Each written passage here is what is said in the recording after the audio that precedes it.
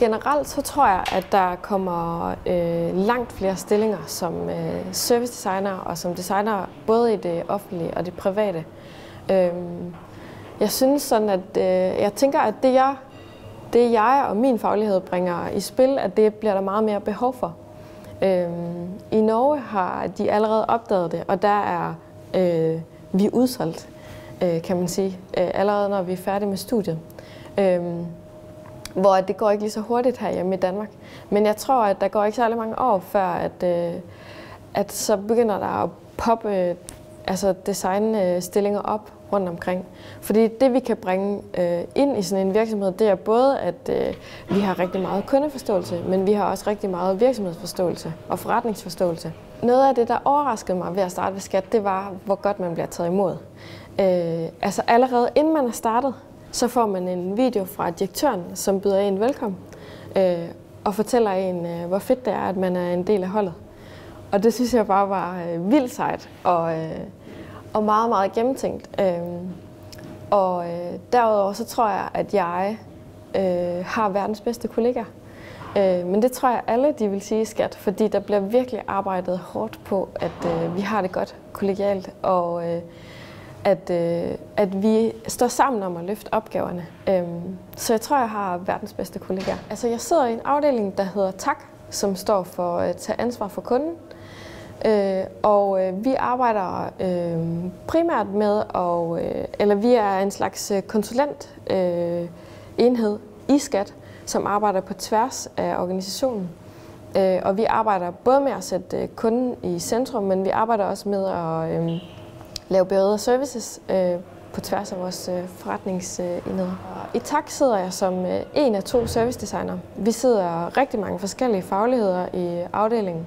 Øh, vi sidder både sociologer og øh, kulturanalytikere og øh, og mange andre. Øh, og vi, er, vi arbejder på forskellige projekter i forskellige øh, teams.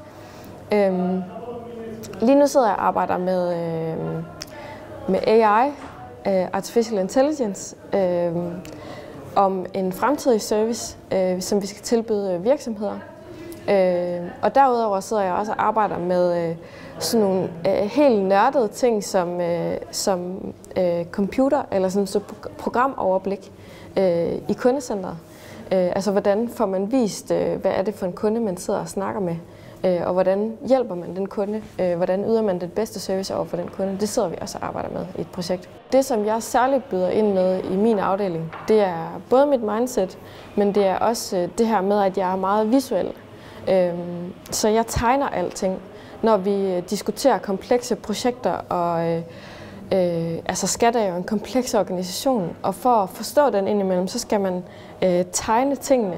Øh, og, Altså for at man har noget at snakke om. Så hele det her visuelle, øh, de her visuelle metoder, som jeg kommer med, og redskaber, det, det giver helt vildt god mening øh, i sådan en kompleks verden, som skat er. Det jeg tit oplever i virksomheder, der ikke har ansat designere endnu, det er, at, øh, at de sætter sig rundt om et bord, og så forestiller de sig selv, hvordan det er at være kunde på den anden side af deres services. Øhm, og det er også okay.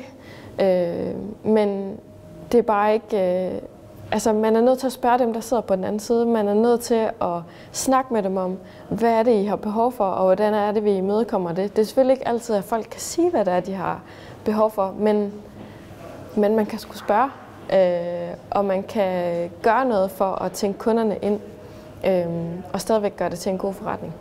Øh, og det tror jeg, bliver stor, der bliver stor efterspørgsel på øh, i fremtiden.